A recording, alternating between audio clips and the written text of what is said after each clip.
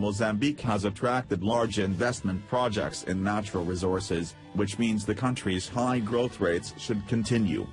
Some analysts believe that Mozambique might be able to generate revenues from natural gas, coal, and hydroelectric capacity greater than its donor assistance within five years. But the vast majority of the country works in subsistence agriculture, and over half the population remains below the poverty line.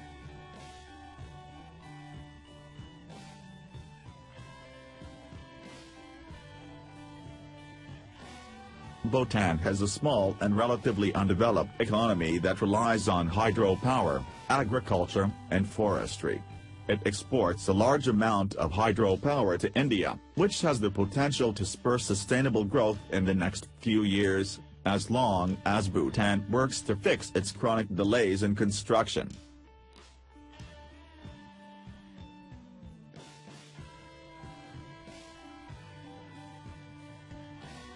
Prime Minister Narendra Modi's India has received high marks from analysts, even with delayed reforms. The services industry is a major source of India's economic growth, accounting for nearly two-thirds of its output with less than one-third of its labor force.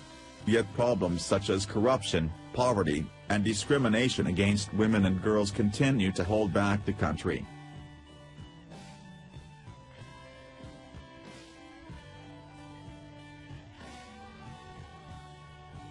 85% of the population works in agriculture, and a small sector exports natural resources including mineral deposits such as gold, copper, and oil.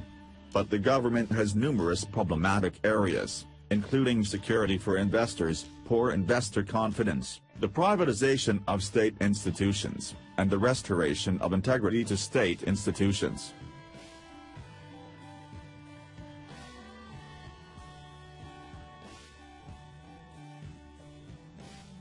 About two-thirds of the population works in agriculture-related industries. The country is the world's largest producer and exporter of cocoa beans and is also a major player in the coffee and palm oil industries.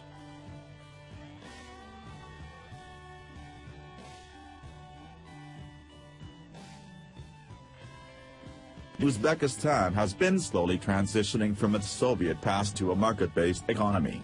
It's the fifth largest cotton exporter and also has natural gas and gold. Notably, the country is working toward enforcing bans on child labor in its cotton harvesting.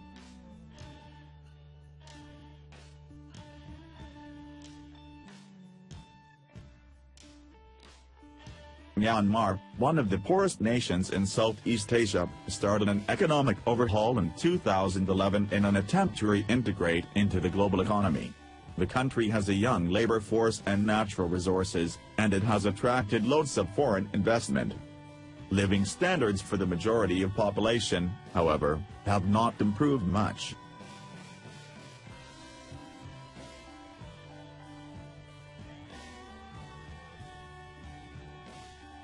The Democratic Republic of Congo has huge natural resource wealth which it hasn't been able to efficiently monetize because of systemic corruption, conflict, and political instability.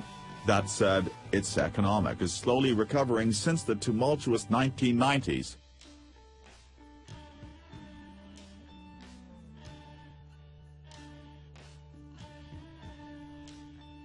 Turkmenistan's extremely corrupt economy relies on two major industries, cotton and gas the former Soviet Republic, which has the fourth largest known gas reserves in the world, recently started sending its gas to China, and it may even start shipping gas over to Europe. But prospects in the near future are discouraging, however, because of endemic corruption, a poor educational system, government misuse of oil and gas revenues, and the capital's reluctance to adopt market reforms, according to the CIA Factbook.